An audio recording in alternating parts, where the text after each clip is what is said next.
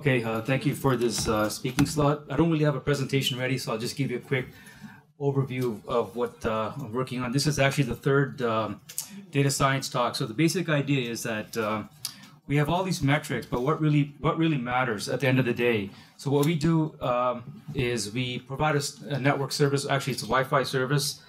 Uh, we do Railtel, uh, Link NYC, and we provide a certain level of service. Right now, it's availabilities. We promise two nines whenever it goes below a certain level, we want to know what uh, what the root cause is.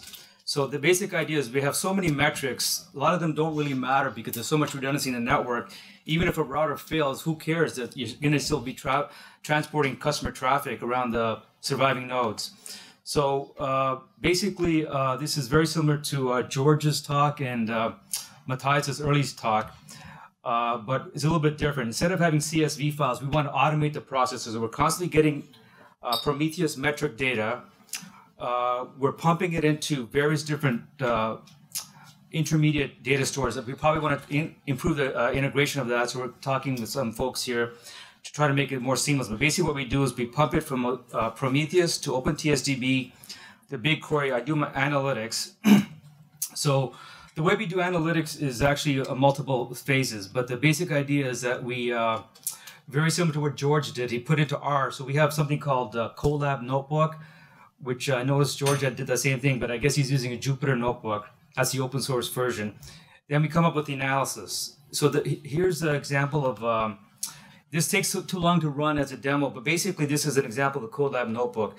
And the basic idea is that we have so many different uh, analytics algorithms how do you know which is the best one how do you want know which one actually what the is actually accurate so what our approach is that we take about 800 different metrics and we have to process it in different ways to uh, normalize it. But then we run it through all the different classifiers. But we also do actually this is not really uh, public yet. So if you don't take pictures i appreciate that. Thanks sorry about that. And uh, I don't know if I, I don't even get approval to, to, to, speak about this, but hopefully it's going to be okay.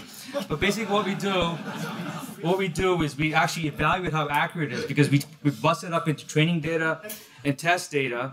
So the test data is not contaminated with any of the training data, and then we take the best uh, the best accurate uh, uh results, and that will be used for prediction. So in this case here, I just finished running it right now, but basically here you can see that uh, instead of getting uh, CSV uh, data, the nice thing about this is we can actually pump it into a data frame directly by doing a SQL command.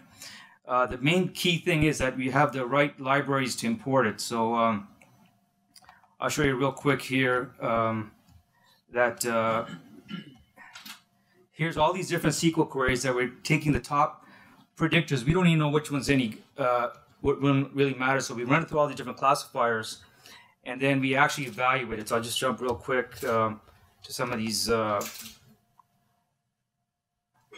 so, so we tried basically uh, most of the linear regression uh, classifiers are completely worthless because most of these problems are not linear. So I think Sudesh had also talked about that when he asked earlier on. What uh, uh we also tried, as uh, uh, Georgia did, lasso regression. The nice thing about that is that instead of having to do all this factor analysis, it will regularize all the coefficients down to zero, the ones that are useless, and it will actually uh, give high weights to ones that are are not useless. Like for example, here this is a station. Uh, the three stars means it actually has a, a very low p-value, and uh, that's a useful uh, metric. So here you can see here amongst all the different metrics, these are the ones that actually matter for the data set and for the problem we're trying to solve. In this case here, my response variable is the SLO level. So basically, in a nutshell, what this thing does is you have all this type of data, what really matters from the for you for your particular objective, and this will reduce it. So this was trying to automate a lot of these tasks that you don't have to do manually. But the best results so far are using um, support vector machines and uh, the and it's pretty obvious because these are nonlinear solutions.